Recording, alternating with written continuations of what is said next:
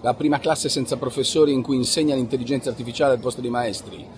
Allora, è un college di Londra che a mio parere sta usando questa formazione per far parlare di sé.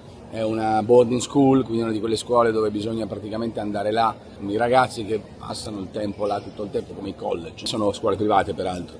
Ma io non solo, secondo me, mm, è molto tirata l'informazione, ma ammesso anche Poniamo che davvero un domani l'intelligenza artificiale sostituirà i professori e gli insegnanti. Ecco, questo se l'intelligenza artificiale non si evolverà, quindi tutto potrebbe succedere, è un grandissimo problema.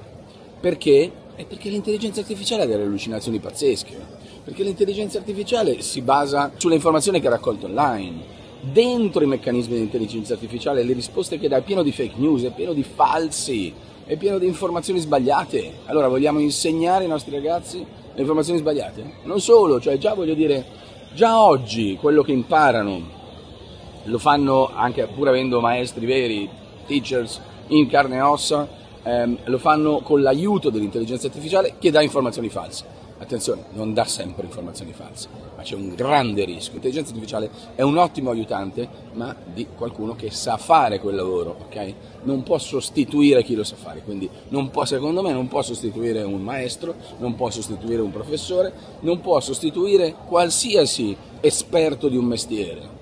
Eh, soprattutto se intellettuale, perché può fare errori madornali per cui bella questa idea, verrà da altre scuole per far parlare di loro, ma in realtà dal punto di vista della comunicazione straordinaria idea, dal punto di vista fattuale una grande stupidaggine.